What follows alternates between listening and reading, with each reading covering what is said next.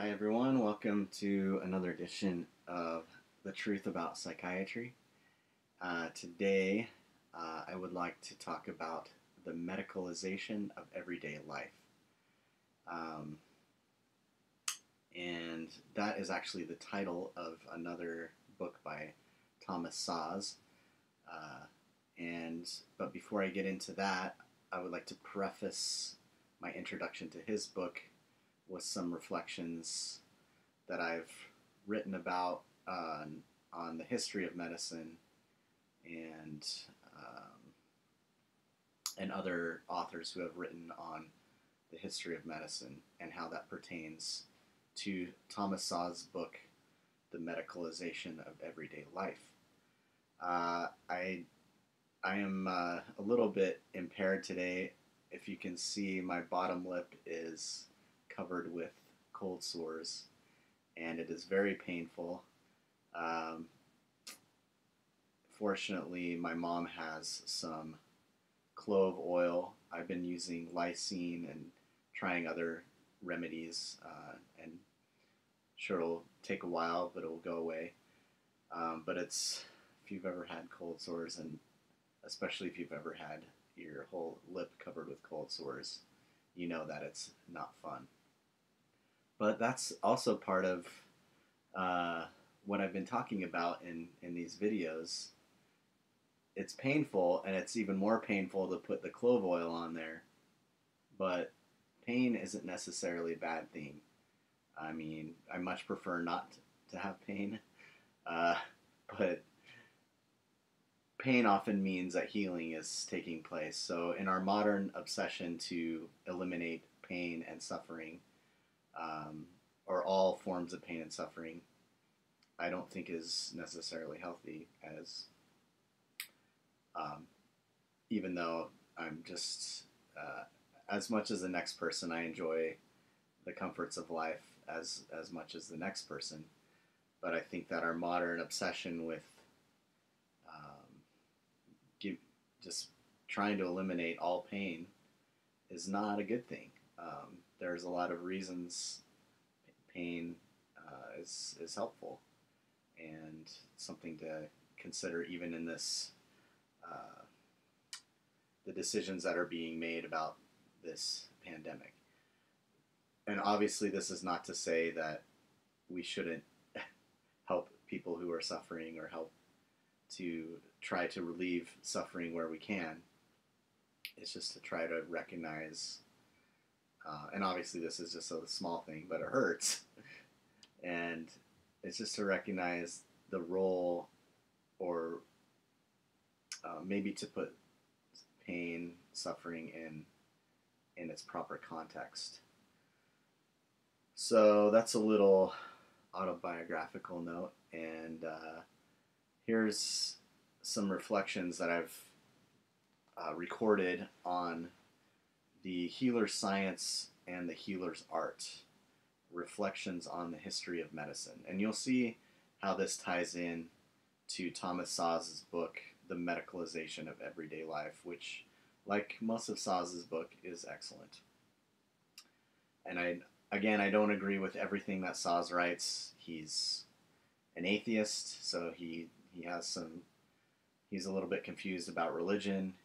He's a libertarian, so he's a little bit confused about politics, but he's he's a very um, informative and thought-provoking writer um, when it comes to psychiatry, especially, and he's also very uh, very well rounded in terms of his his studies of literature and philosophy and history and and uh, just an overall good guy. If you ever watch any videos of Szasz, he's he's got a great sense of humor, and uh, it just seems like the, the kind of person you you would want to meet.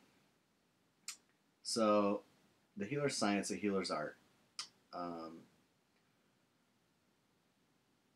so a couple years ago, okay, so I wrote this quite a while ago, um, but I remember I attended a seminar on entrepreneurship in which the speakers advocated a formula for business success. The process was simple. First, identify, identify a pain in society. Next, develop a product to assuage or mitigate that particular pain. Finally, convince the consumer that they actually need the product. On the surface, this formula looks like something that will benefit both producers and consumers, but such an assessment takes for granted the fact that the first step is not quite that simple. Neither is the second step. The third step, unfortunately, has been much too easy. Consider, for example, explosion in commercials advertising quick and easy remedies for everything from depression and anxiety to allergies and erectile dysfunction. A pain is identified or invented, a solution is concocted, and gullible consumers are convinced.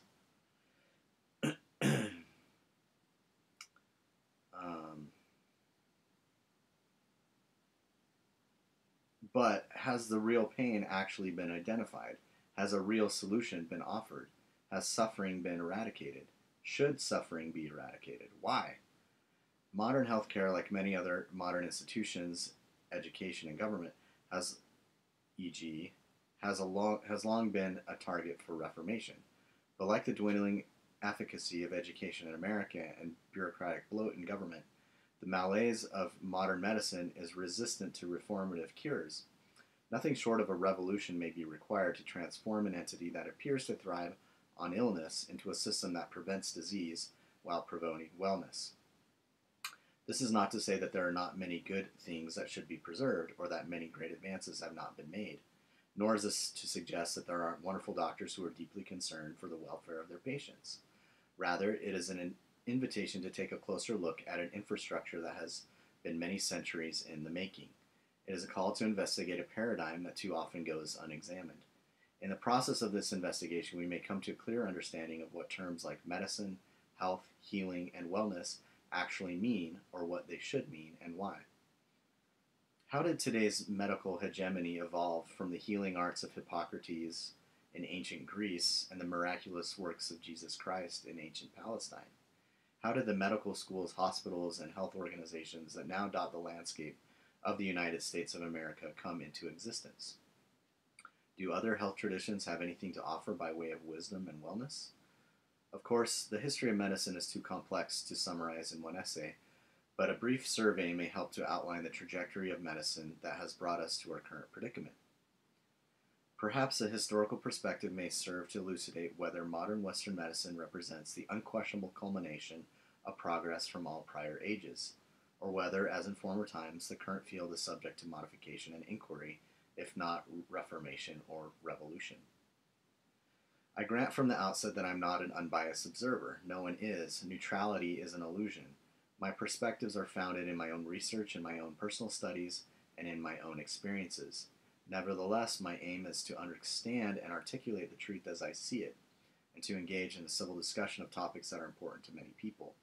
As much as I aim for truth and objectivity, my faith, reasoning, and personal experiences cannot be wholly separated from my observation, observations concerning this or any other subject.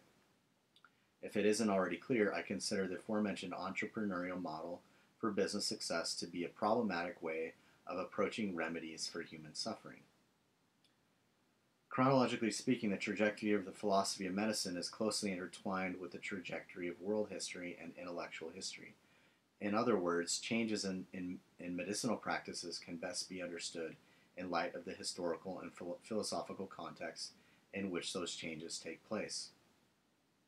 For example, in uh, the book The History of Medicine, a very short introduction, Emeritus Professor William Bynum provides a thematic approach to the transition from Hippocrates in ancient Greece to Galen and the Arab physicians of the Middle Ages to Pasteur and the modern bastions of health of healthcare. With great clarity and persuasive evidence, Bynum demonstrates what medicine means and how it has moved from the bedside to the library to the hospital to the community and finally to the, the laboratory.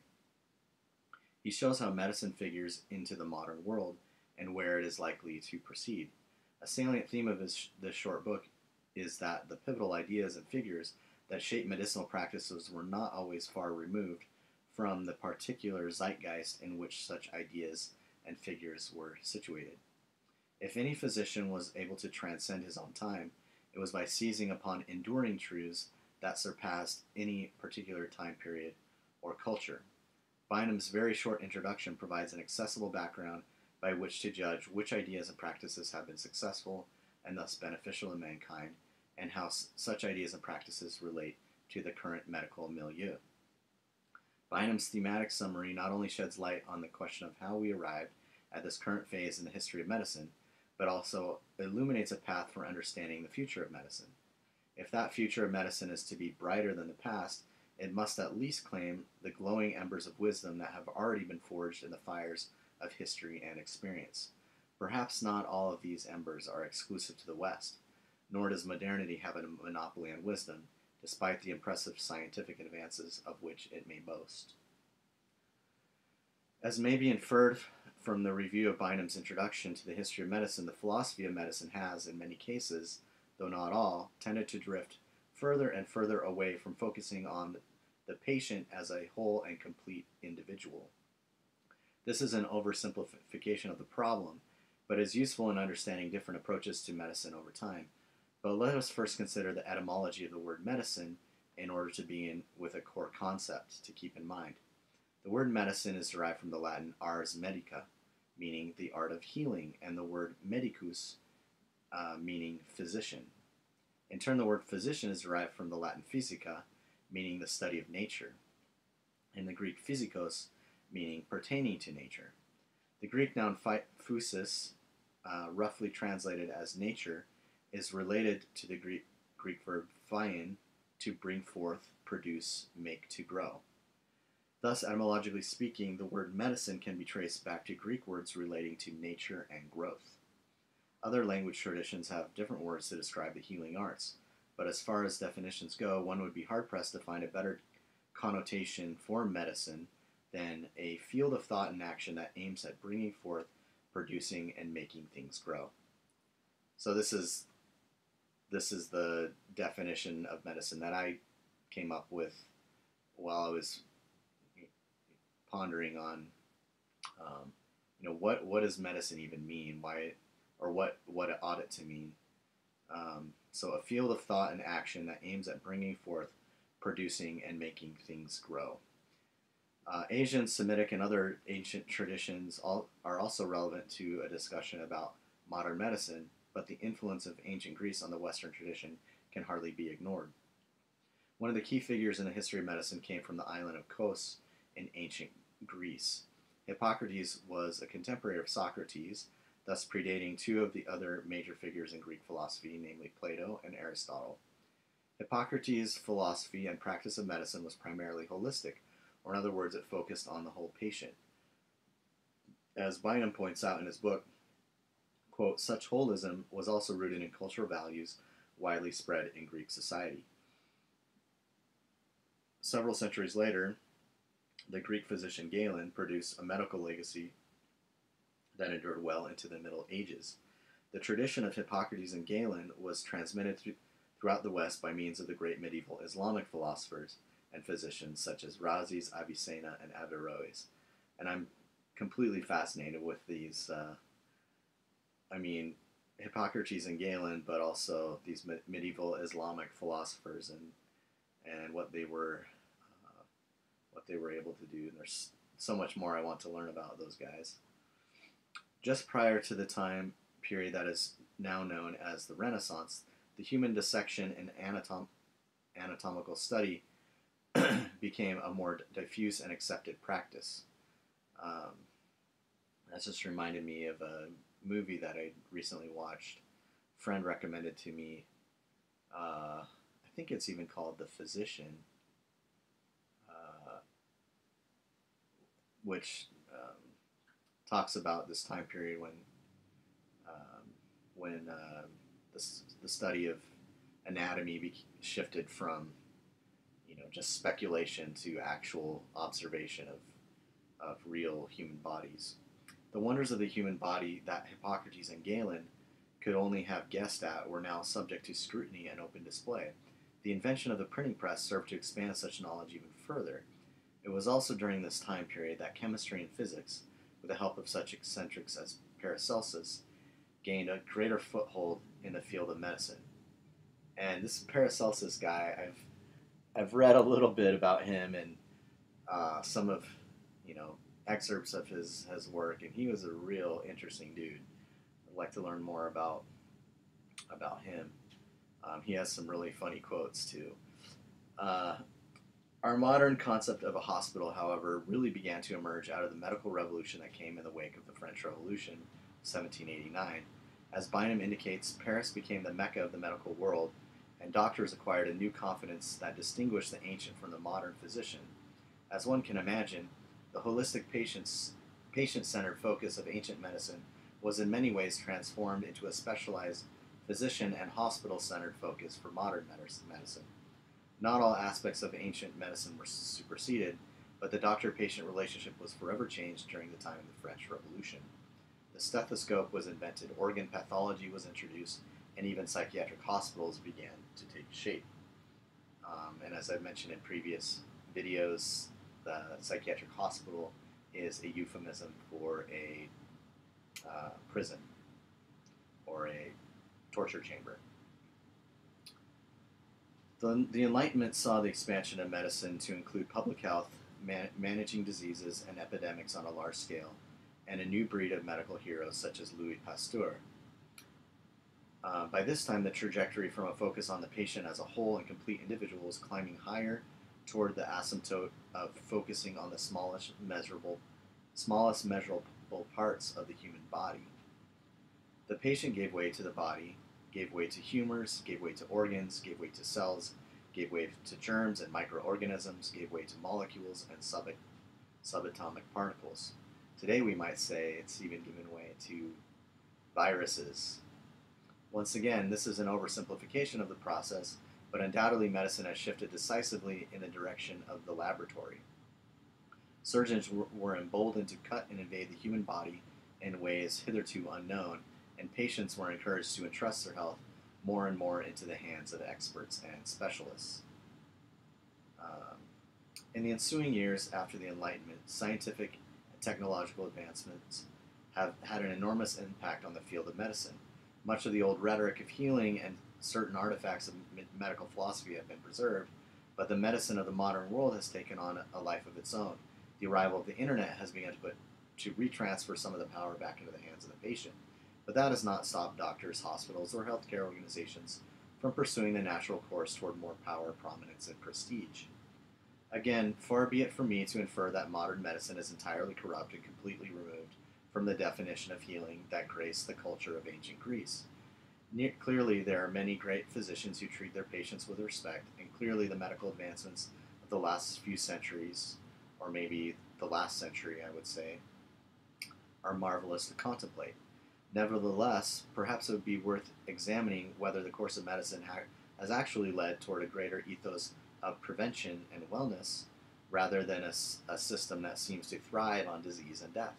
Are we creating a culture of phyein, a, cre- a culture of bringing forth, producing, and making things grow? In an ideal world, everyone would be healthy and happy, pain would be non existent, and doctors unnecessary.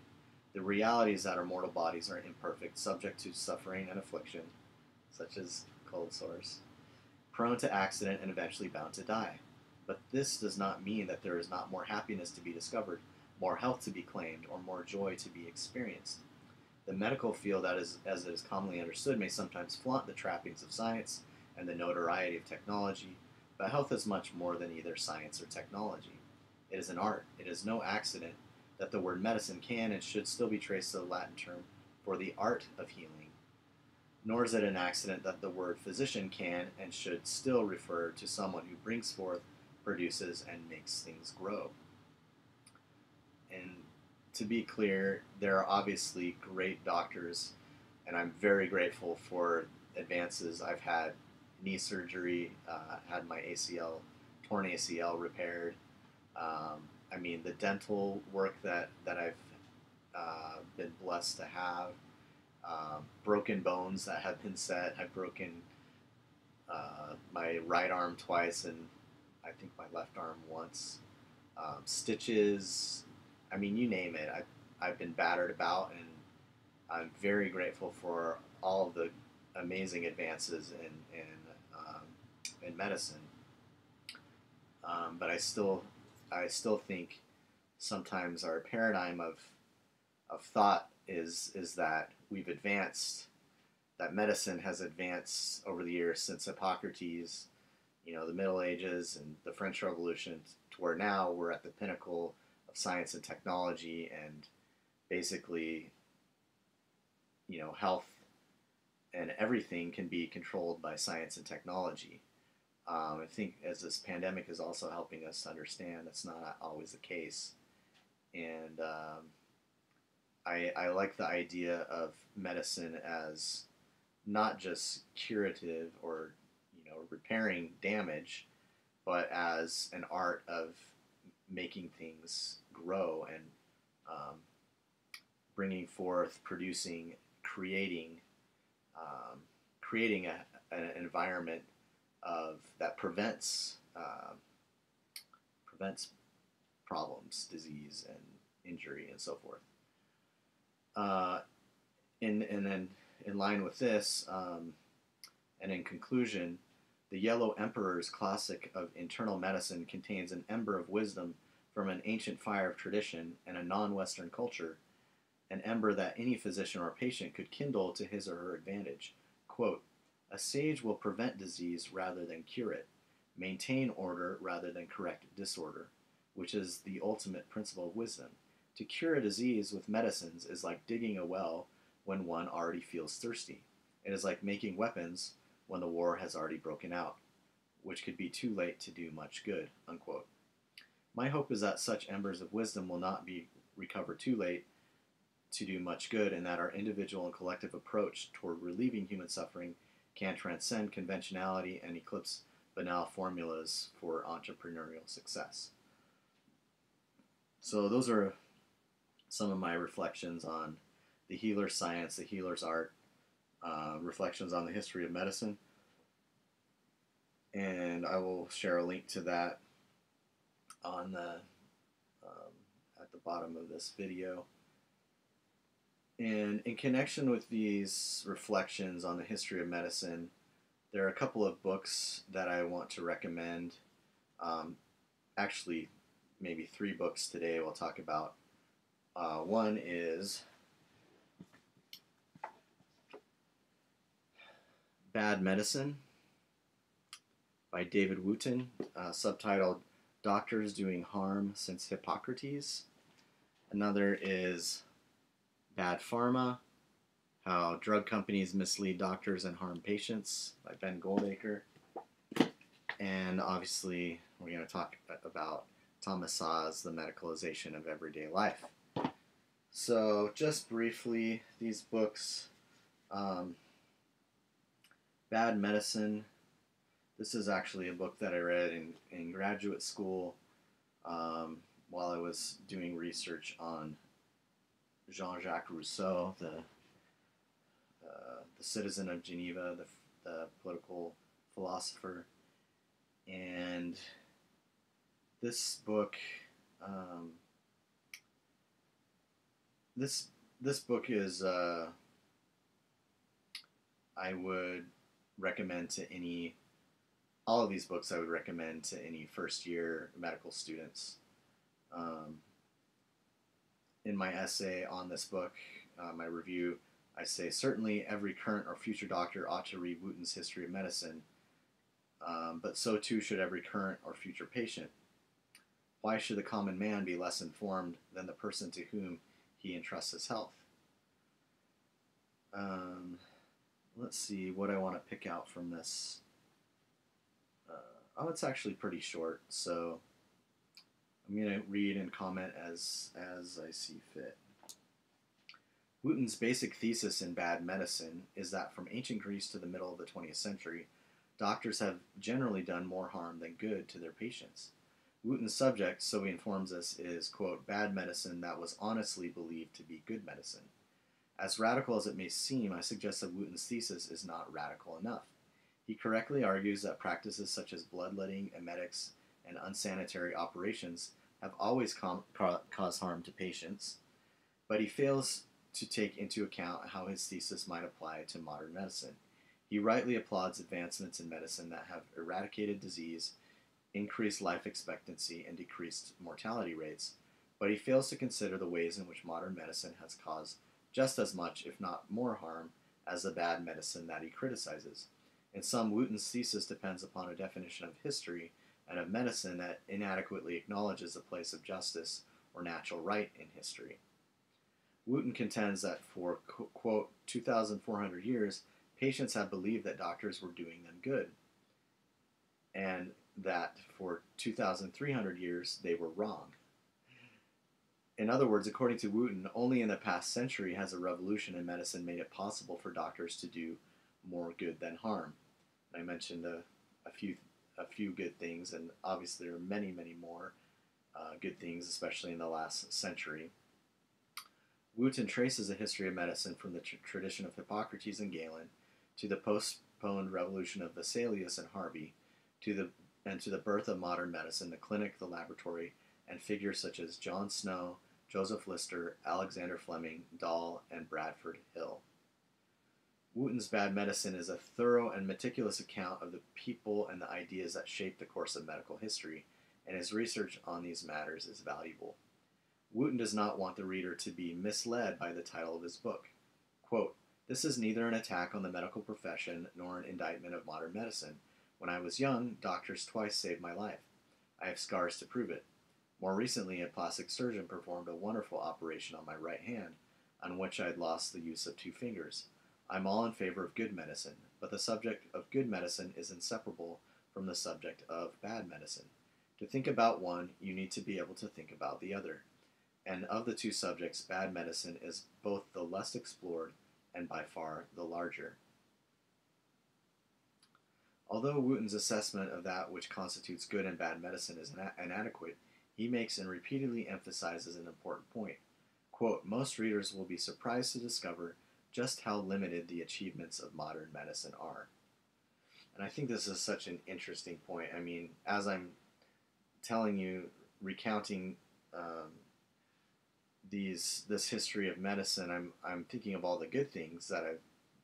I mean, I remember when I was a teenager that I cut my foot on a shell in North Carolina, and you know I was bleeding out of the bottom of my foot, and it was very painful, and it was painful to get uh, an anesthetic shot into the bottom of my foot. I remember that how painful that was, but it's still amazing that the doctors were able to do that and to stitch it right up and you know eventually it, it healed just fine you know as i think of all the injuries that i've sustained and and the illnesses that i've overcome or healed from and you know the good doctors that have helped i'm obviously i'm very grateful for that but i do think it's important to consider what Wootton is saying here most readers will be surprised to discover just how limited the achievements of modern medicine are. So often we talk about, I mean, and for good reason, we talk about just how advanced we are with, modern medicine, and um, there's obviously very good reasons for that. Um, but I think that discussion often obscures the thousands of years before that and what happened, and also the bad medicine that's um, th- that's in opposition to the good medicine. Uh, we need to be aware of both. Toward the end of his book, Wootton re- reiterates this crucial point. Quote, it is easy to adopt a patronizing attitude to those patients who, from 425 BC to 1865, imagined their doctors were doing them good when they were only doing them harm but we are too credulous. We owe much less to modern medicine than we imagine. Um, as an interesting side note, Wootton asserts that he is concerned only with physical, not with mental disease. The story of psychiatry would require at least a volume to itself. And with the help of Szasz and Burstow and Breggin and Whitaker, we have those volumes.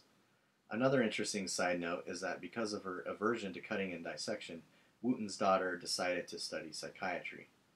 That's unfortunate. Um, David Wootton's book, Bad Medicine Doctors Doing Harm Since Hippocrates, ought to be required reading not only for every first year medical student, but for anyone who does not wish to remain credulous. There's a lot more in this book. Highly recommend it. Bad Medicine. Um, the history of medicine is just so fascinating. So many fascinating figures, and uh, I agree on the whole with Wootton that um, you know he he reveals a lot of the barbaric treatments of a medicine throughout the ages, um, and how many people were convinced that doctors were actually doing them good. Uh, I just opened to a page on uh, Semmelweis, the young Hungarian appointed, uh, the young uh, physician. Um, and we've talked about Semmelweis in connection with Thomas Szasz. So that's one book, and another that I would recommend is this Bad Medicine How Drug Companies Mislead Doctors and Harm Patients. Um, again, I'm not saying that there aren't good doctors and there aren't there isn't good medicine. I'm just saying we need to be a little bit more alert to the reality of bad medicine and bad pharma. Um, this book, uh, I disagree with some of its conclusions, um, but I recommend it, uh, particularly the final chapter on marketing, because uh, basically Goldacre argues that medicine is broken. Um, and if, if, if patients and public, and even if doctors understood what is actually going on, uh, sometimes they do, sometimes they don't. They, they uh, Goldacre argues that they would be very upset. Um, he says, We like to imagine that medicine is based on evidence and that the results of fair tests. In reality, those tests are often profoundly flawed. We like to imagine that doctors are familiar with the research liter- literature, when in reality, much of it is hidden from them by drug companies. We like to imagine that doctors are well educated, when in reality, much of their education is funded by industry. We like to imagine that regulators only let effective drugs onto the market, when in reality, they approve hopeless drugs with data on side effects casually withheld from doctors and patients. Um, so he has a lot of stories to tell um, about drug companies. Um, and he, and he's he wants to be clear that he's not a conspiracy theorist. He says drug companies are not withholding the secret to curing cancer nor are they killing us all with vaccines. Those kind of stories have at best a poetic truth. We all know intuitively from the fragments we've picked up that something is wrong in medicine, but most of us, doctors included, don't know exactly what. Um, so he, he's obviously he, he, he wants to be clear that um, there is good medicine. Um, I'm a, I'm even more skeptical than he is about even what he has to say about cancer, what he has to say about vaccines. Um, but that would be the subject for another series. This is on the truth about psychiatry, but the history of medicine is connected to the history of psychiatry. Um, so let's see what else from Goldacre's book. Um, Drugs are tested by the people who manufacture them in poorly designed trials on hopelessly small numbers of weird, unrepresentative patients and analyzed using techniques which are flawed by design in such a way that they exaggerate the benefits of treatment. Unsurprisingly, these trials tend to produce results that favor the manufacturer. When trials throw up results that companies don't like, they are perfectly entitled to hide them from doctors and patients, so we only ever see a distorted picture of any drug's true effects. This is this is especially true, I think, of psychotropic drugs and the pharmaceutical industry's production of, of those drugs. And all throughout Whitaker, Breggin, um, Burstow, Szasz, their writings, there are all sorts of stories about drug companies that have manipulated the data, hid, hidden the data, changed the data, in order to, um, you know, in re- results in their their own favor. Um, regulators see most of the trial data, but only from early on in its life, and even then, they don't give this data to doctors or patients, or even to other parts of the government. This distorted evidence is then communicated and applied in a distorted fashion.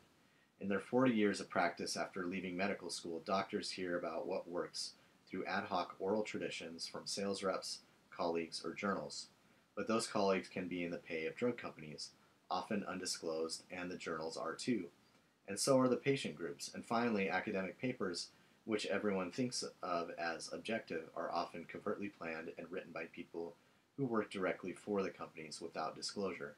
Sometimes this whole academic sometimes whole academic journals are even owned outright by one drug company. Aside from all this, for several of the most important and enduring problems in medicine, we have no idea what the best treatment is because it's not in anyone's financial interest to conduct any trials at all. These are all going ongoing problems, and although people have claimed to fix many of them, for the most part they have failed, so all these problems persist, but worse than ever, because now people can pretend that everything is fine after all. So I think uh, is right to, to point to these problems. I, um, this doesn't mean that there aren't doctors who who are excellent and thorough researchers and who who understand things um, more than just what they're fed from uh, propaganda from medical schools. But I think it's important for you know, especially patients, to be aware that, um, you know, the the person to whom they're entrusting their health, um, even a even a well-meaning person, might not necessarily, you know, he's a he's a he or she is a human being as well. So. Um, there's more stories uh, that Goldacre tells about bad medicine, um, perverse incentives, broken system. He says some people will say that this book is an attack on the pharmaceutical industry, and of course it is, but it's not only that, and it's not unbounded. I suspect that most of the people who work in this industry are fundamentally good hearted, and there is no medicine without medicines. Um, this sounds like a riff on uh, Robert Whitaker, you know, talking about the rotten barrel of psychiatry with the good apples in it. Um, it's not. There are good people um, that are doing sincerely doing their best um, to, to help others, um, and, and I'm grateful for that. I sus- let's see, it's not unbounded. I suspect that most of the people who work in this industry are fundamentally good-hearted, and there's no medicine without medicines. Drug companies around the world have produced some of the most amazing innovations of the past 50 years saving lives on an epic scale, but that does not allow them to hide data, mislead doctors, and harm patients. Um, talks about doctors being embarrassed by pharmaceutical companies. Um, he talks about different reforms that he would advocate. Um,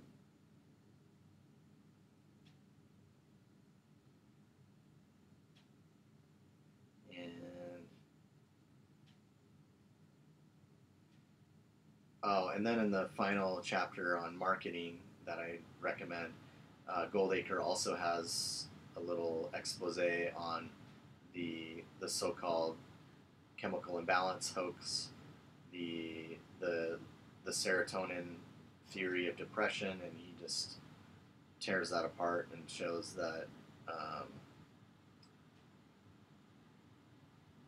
well, here's his la- here's a statement the story of the serotonin hypothesis for depression and its enthusiastic promotion by drug companies is part of a wider process that has been called disease mongering or medicalization, where diagnostic categories are widened, the whole new diagnoses are invented, and normal variants of human experience are pathologized so they can be treated with pills. And this last statement ties in perfectly with the book that I now want to talk about, um, which is Thomas Szasz the medicalization of everyday life. So we've kind of seen how the history of medicine um, and this is an oversimplification, but it's I think it's useful for talking about um, where we are now, um, how the history of medicine moved from more holistic view of a human being, um, and even the ancient and medieval times um, toward modern medicine, moving away from the human being toward the hospital, toward doctors, towards um, eventually toward the laboratory.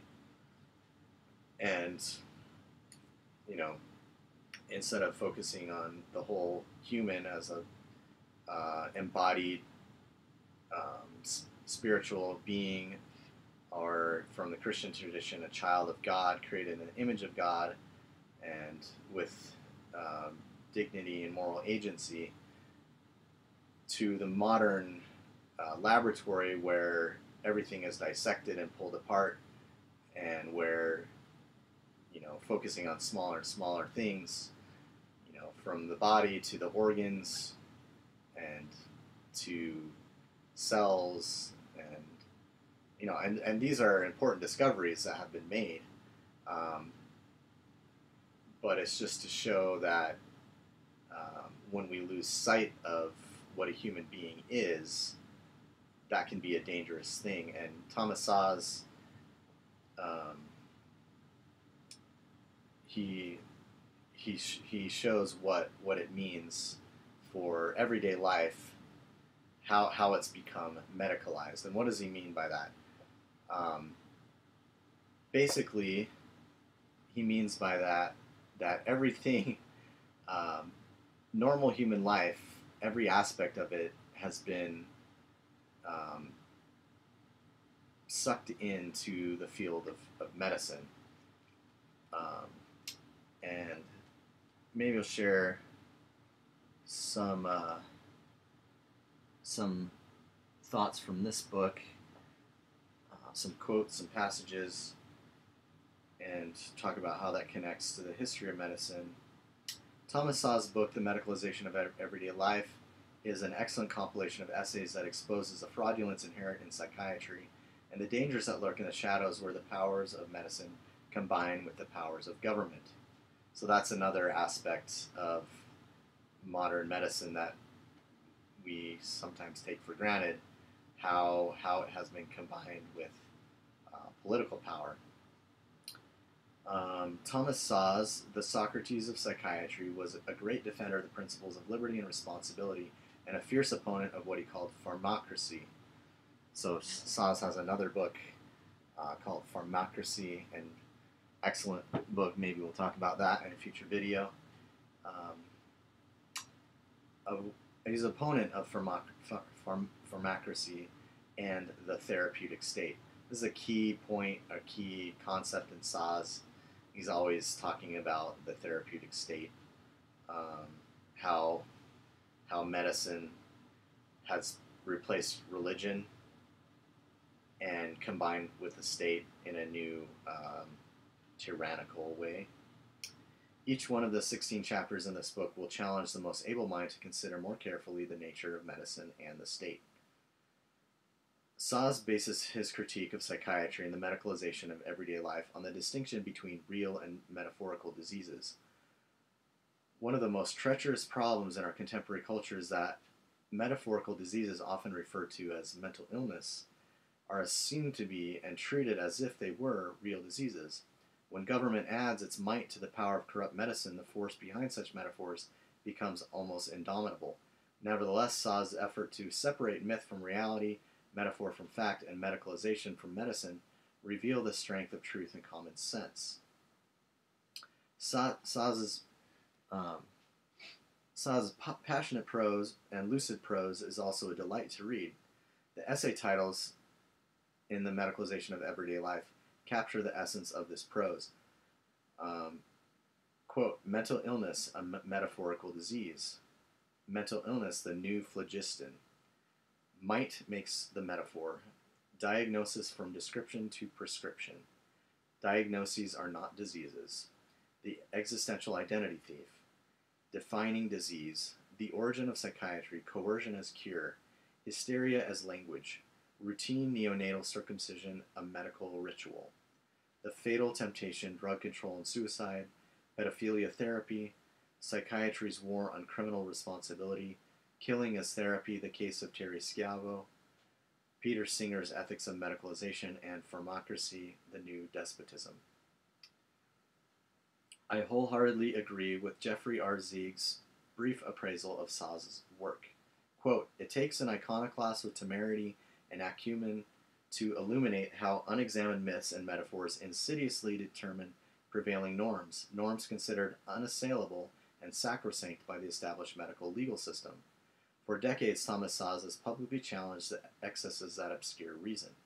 The medicalization of everyday life offers a no nonsense perspective on contemporary dogma, required reading for all professionals in healthcare fields and all those who are subject to their unwitting prejudices. So that's a little introduction to uh, medicalization of everyday life. Um, and this there's such a it's a collection of essays and they're on a wide variety of topics as you can see. We won't talk about all of them, but there one thing that I really like about this book is like and, and in many of Szasz's books is he has so many uh, literary and philosophical um, illusions illusions and he just he just pulls from such a wide variety of sources to uh, support his thesis and let's see here if there's anything um, I'll just start with the preface. Quote, when I use medical terms such as diagnosis, disease, and treatment in reference to psychiatry or psychoanalysis, it is with the understanding that we are not dealing with real, literal diagnoses, diseases, or treatments. We are dealing with the metaphorical uses of these terms. However, this medicalized idiom is such an integral part of our contemporary culture that the terms are accepted on face value as literal diagnoses. Offensive, insulting, um, Indeed, it is socially improper, embarrassing, offensive, insulting to reassert their more metaphorical character. Still worse is calling attention to the practical, legal, and medical consequences that follow, linguistically and logically, from identifying and treating non diseases as diseases. My writings about mental illness and psychiatry reflect my insistence on making this simple but fundamental distinction. So, and the difference, obviously, with Szasz and the history of medicine that we've talked about is in the history of medicine, there were actual diseases, and Szasz talks about this guy, uh, Rudolf Virchow. I think uh, we'll counter him later in this book, where the the the notion of disease ha- is connected to a biological physical, observable reality, and not um, not just a metaphor. And Szasz insists on making that distinction because the consequences of treating metaphorical diseases as if they were real biological diseases is, has been uh, has been disastrous. Um, So Szasz quotes in his introduction, he quotes a guy named Jim Windolf, the, the executive editor of the New York Observer. Uh, he has an interesting statement here. Quote, the experts won't be satisfied until every last American is suffering from some kind of disease or disorder or syndrome. If you add together all the numbers compiled in the U.S. by all the institutes, the councils, the foundations, the PhDs, and the authors, you come up with one sorry statistical portrait of a nation with another new quantifiable disorder or two, everybody in America will be officially nuts. Uh, and I like that um, assessment of the expansion of the, the so called diagnostic categories. This is what Szasz means by the medicalization of everyday life. Um, you can't go out your door without, you know, encountering um, some sort of medicalization of whatever you're doing. Um, and um, Szasz quotes Moliere, he quotes Chekhov, Anton Chekhov. Um, in his uh, his book. Um, let's see, is this yeah Ward Number Six? This is a great uh, a great book in the that belongs in the anti-psychiatry canon. Andrew Chekhov's um, Ward Number Six. Um, here's a quote from it. You ask me what is to be done. The best thing to do in your situation is to escape from here. But regrettably, that is useless. You will be detained. When society fences itself off from criminals, psychopaths, and people who are generally embarrassing, it is insuperable. There is but one thing left for you to find reassurance in the thought that you are staying, staying here is necessary. Since prisons and madhouses exist, why is somebody is bound to sit in them? If you, if not you, then I. If not I, some third person. Bide your time. When the when when in the distant future prisons and madhouses will have gone out of existence, there will be no more bars on windows nor hospital robes. Of course, sooner or later, such a time will come. And uh, as far as the um, distant future when madhouses, now called psychiatric hospitals, which are actually prisons, um, we, we can look forward to the time when those will be gone um, and that psychiatry will be abolished. Um, so that's a little something from the introduction. Uh, let's see. Oh, this he even quotes Abraham Lincoln here. See, I like Thomas Szasz. It is also obvious that the self-styled psychiatric educators never mention two major risks inherent in every professional con- professional contact between an individual and a psychiatrist, namely stigmatization by diagnosis and loss of liberty by forced psychiatric hospitalization. Why do the promoters of medicalization, that is, psychiatric slavery, regularly fail to mention its potential downside? Because they mendaciously regard psychiatric oppression of the patient as beneficial for that patient, much as the promoters of chattel slavery regard, regarded oppression of slaves as beneficial for them. Lincoln's answer to this outrage remains relevant. Quote, but slavery is a good for, the, for some people. As a good thing, slavery is strikingly peculiar in this that is, that it is the only good thing which no man ever seeks the good of for himself. So obviously, Lincoln opposed slavery, and Szasz appropriated Lincoln to oppose psychiatric slavery. Uh,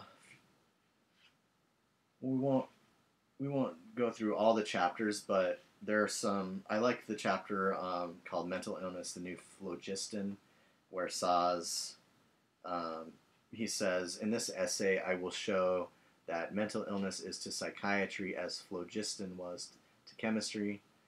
Um, mental illness is to psychiatry as phlogiston was to chemistry, establishing establishing chemistry as a science of the nature of matter required the recognition of the non-existence of phlogiston. Establishing psychiatry as a science of human behavior requires the rec- recognition of non-existence of the non-existence of mental illness.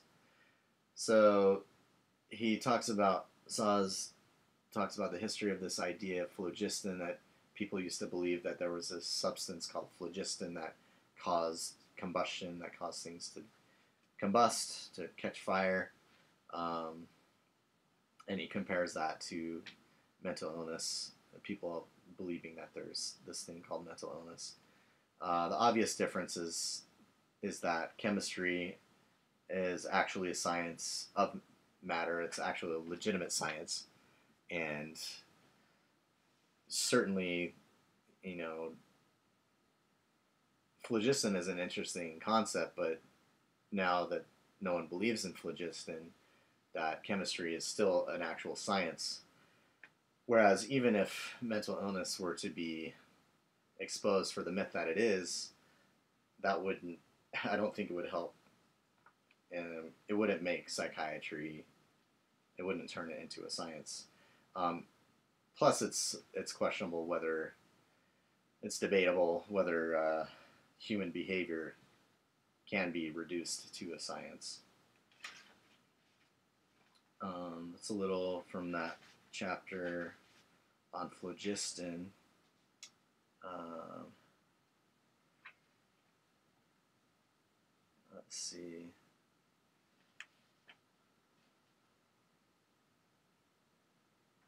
There's some things about the concept of mind, the other, um, Plato. Oh, here's here's a little bit on Rudolf Virchow. Um, Rudolf Virchow, whose definition of disease as a disturbance in the structure, the structure or function of cells, tissues, and organs, became the basics of classical nosology. And nosology is just the, I guess, the science of uh, diagnosis.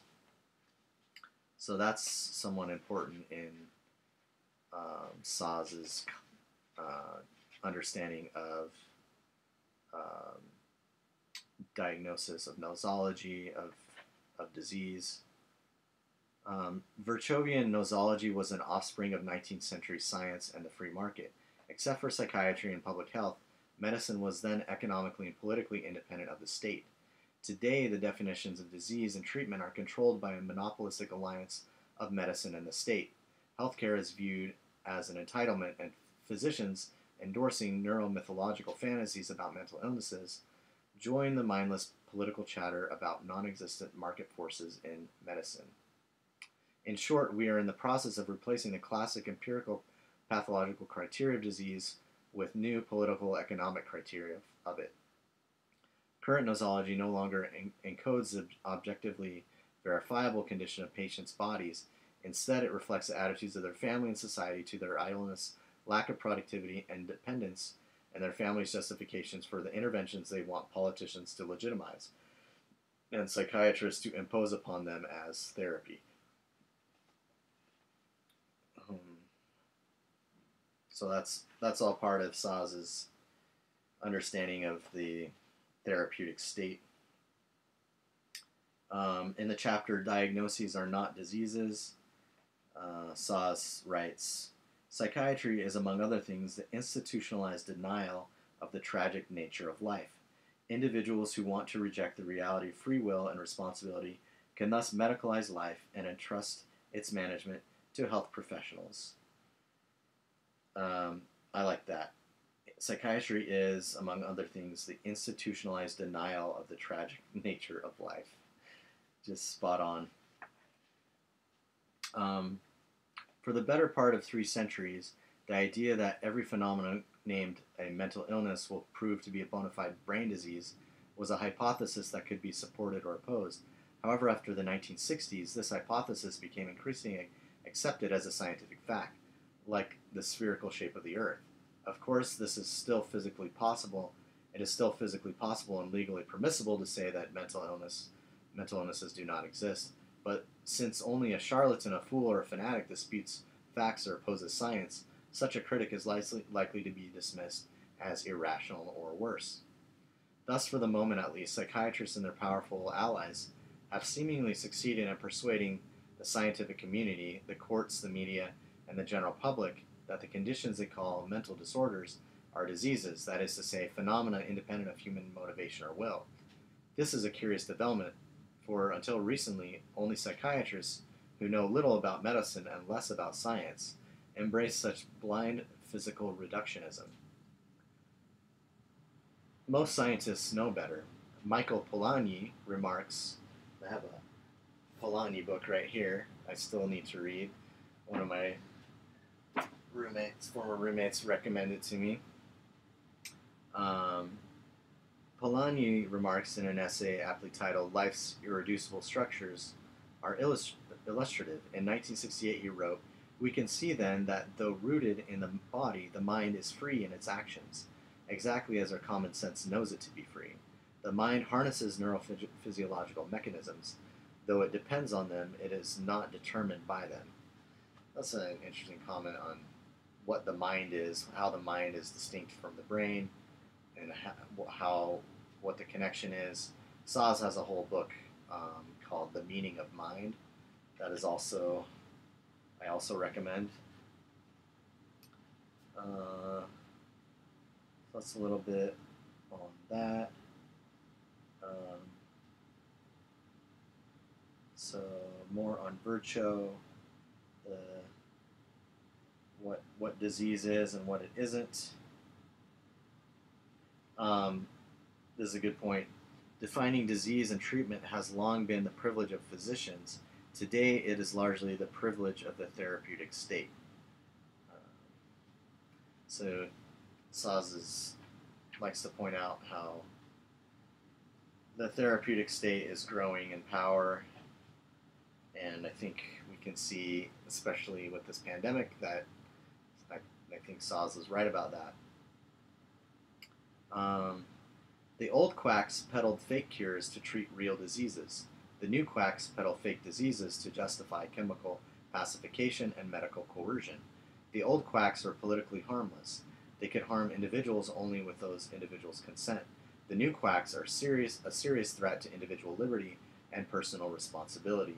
They are agents of the therapeutic state who can do harm, who can and do harm individuals both with and without those individuals' consent.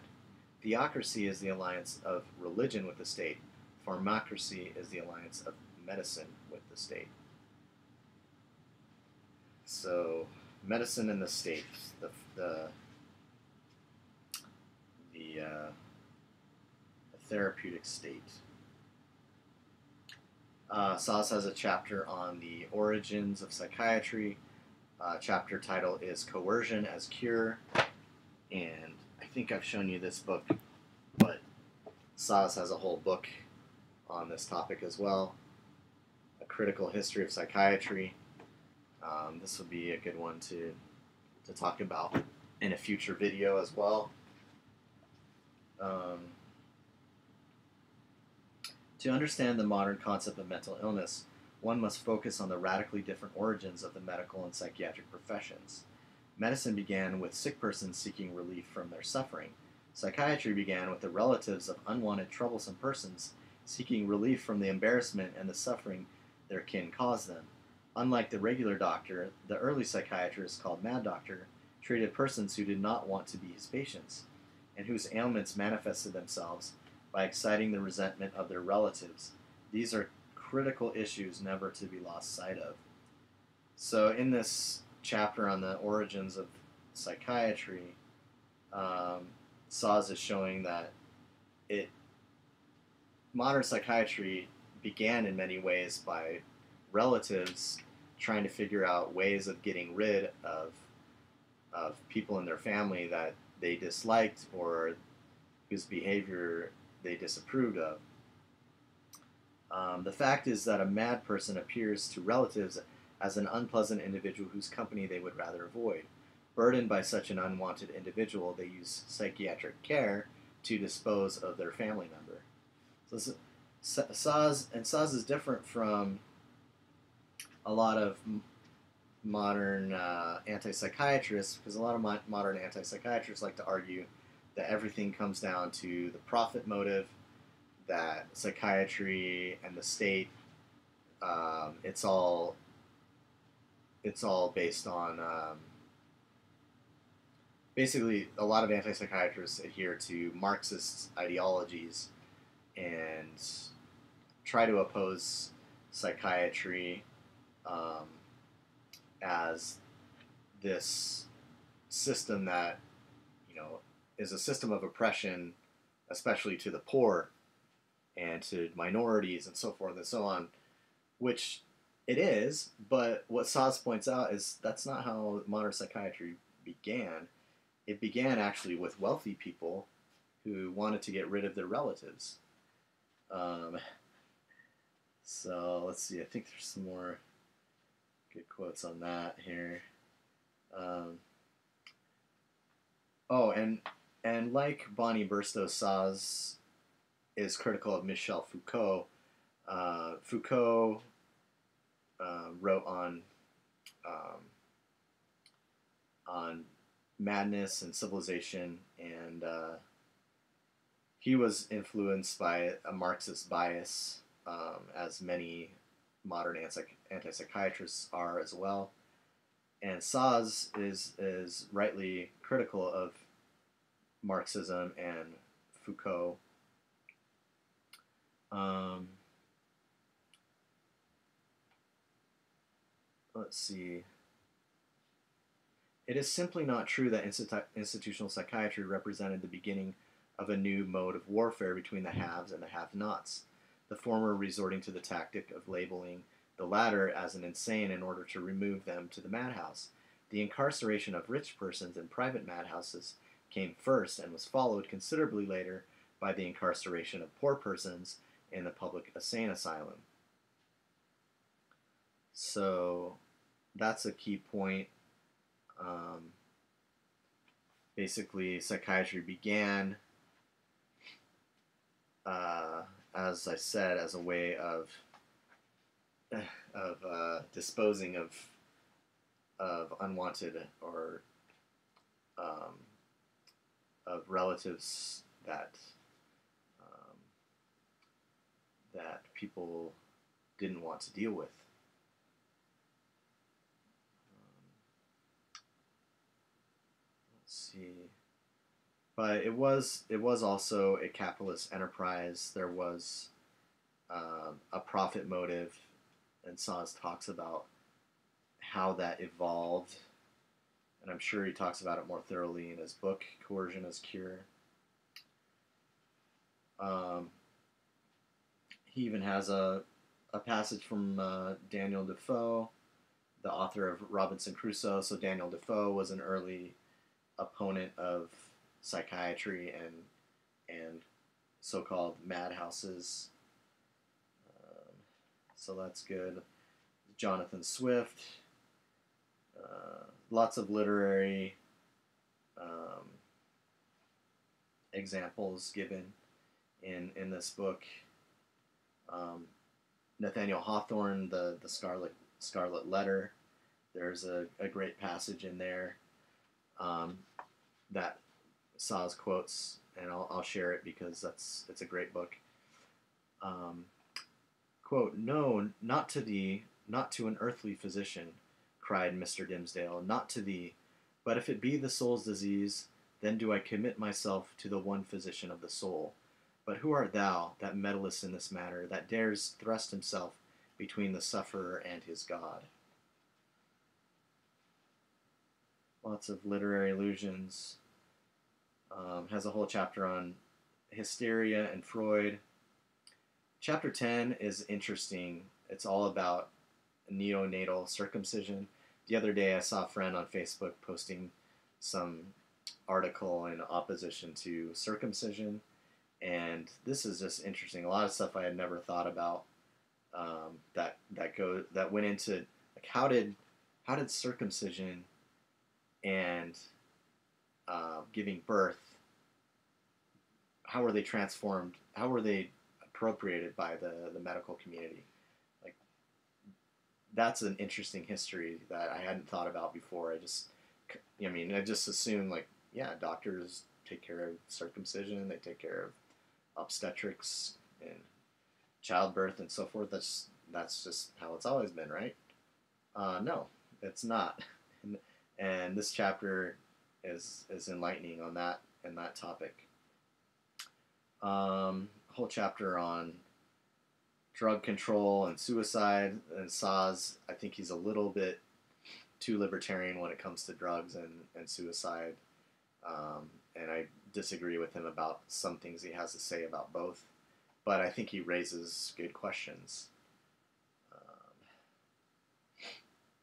more, more on therapy, psychiatry's war, on criminal responsibility maybe just a couple more passages here. Um, oh, there's a whole chapter on killing as therapy. Um, the story of, uh, I think it's uh, the case of Terri Schiavo or Schiavo, however they pronounce it. If you remember that story from a few years back. Um, oh, but this is important because I would like to share from this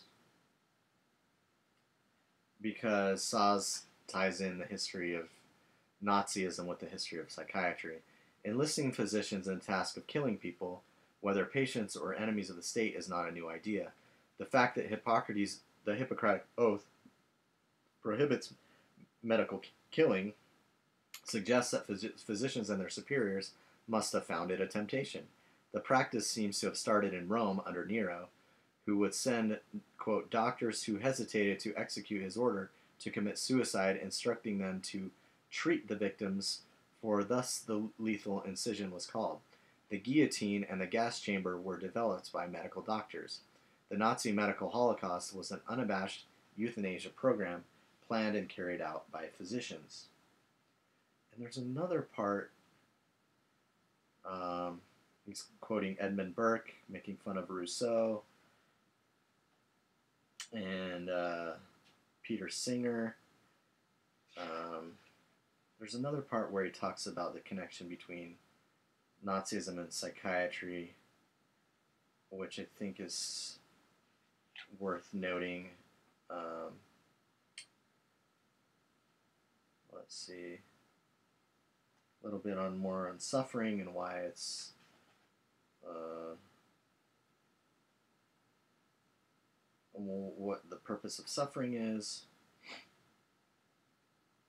Oh, quote, the political goals of liberalism and the therapeutic goals of medicine converge on the theme of attending to suffering and trying to abolish it.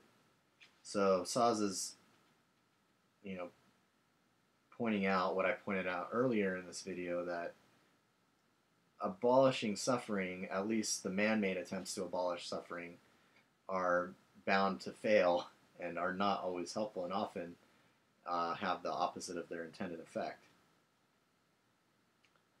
Um, physicians as agents of the state. I think this is where Szasz gets into the pharmacracy. This chapter is called Pharmacracy, and here it is. So maybe we'll end with this. Um, this is an interesting, interesting point to consider, also in connection with the present pandemic. It was fanatical medical puritanism, not fascism, that motivated the Nazis to wage therapeutic wars against cancer, homosexuals, gypsies, and Jews. This is a crucial point. Once we begin to worship health as an all pervasive good, a moral value that trumps all others, especially liberty, we sanctify it as a kind of secular holiness. I think Szasz is really onto something here. He was seeing that that um, the worship of health, when health becomes the highest goal, and it's trumping even liberty or even virtue or any other good, then it becomes tyrannical. It becomes a kind of secular holiness.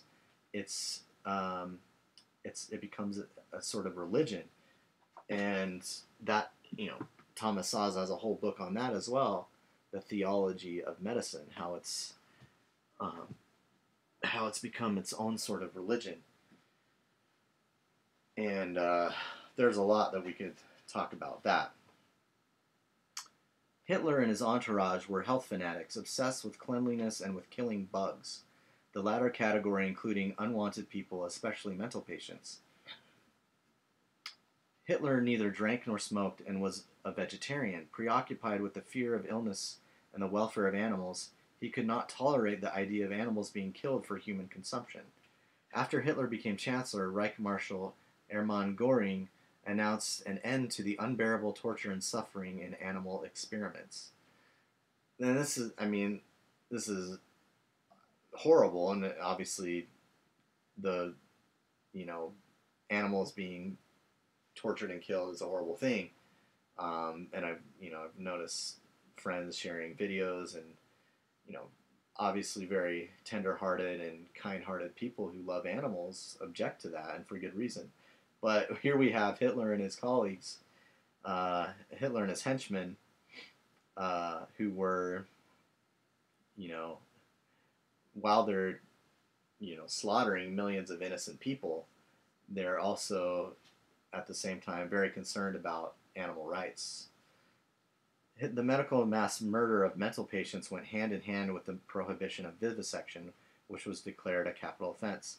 The fact that the Nazi public health ethic demanded not only respect for the health of the greatest number of Aryans, but also for the health of animals except bugs, illustrates the connection between the love of pharmacracy and animal rights on the one hand, and the loathing of human rights and the lives of imperfect persons on the other hand, as the writings of bioethicist Peter Singer illustrated.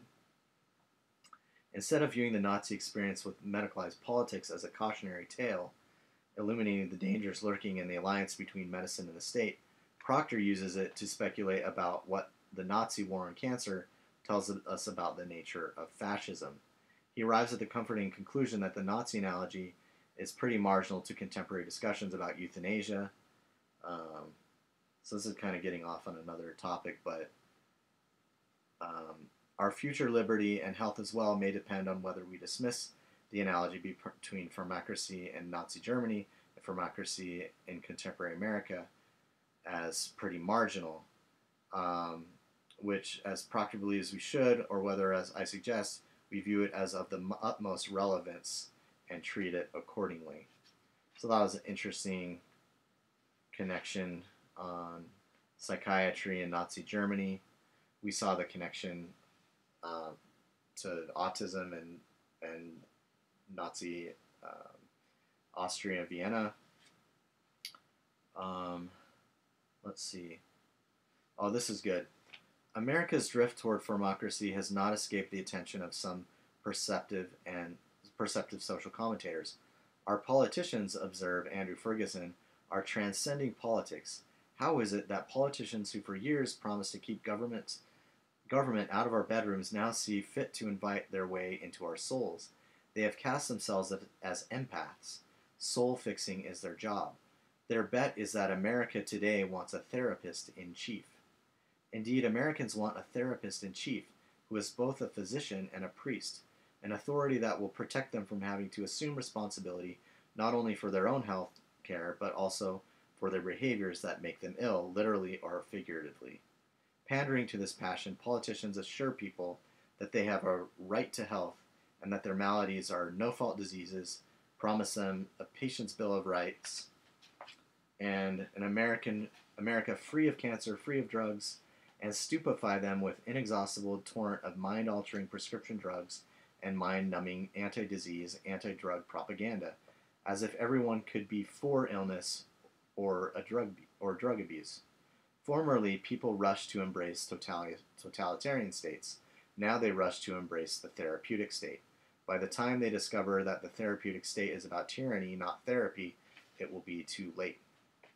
So that's an introduction to Thomas Szasz, the medicalization of everyday life.